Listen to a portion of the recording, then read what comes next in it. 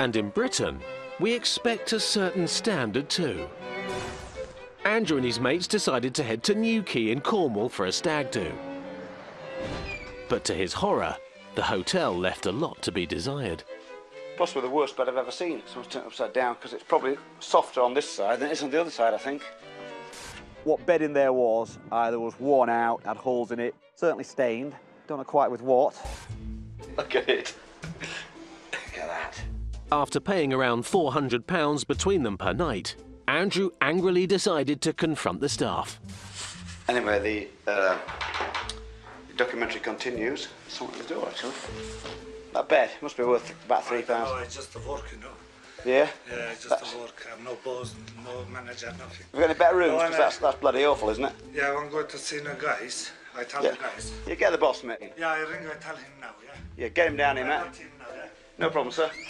When the manager failed to appear, Andrew had had enough. I think at that point I started seeing a little bit of a red mist. Anyway, I don't want this uh, documentary to finish without people realising the luxury.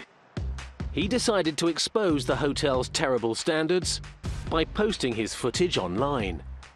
Currently, it's got 42,000 views. It soon attracted the attention of potential hotel customers. Someone's put, Love this review. We'll be posting it on the hotel's page. Thank you. People have seen it, looked at it, and thought, Actually, I don't think I'll book that place. Today, Andrew's back in Newquay and he's desperate to find out if the hotel has upped its standards. It looks like they flattened the place. well, it had to come down. It was a Kazi. Who would have thought, eh?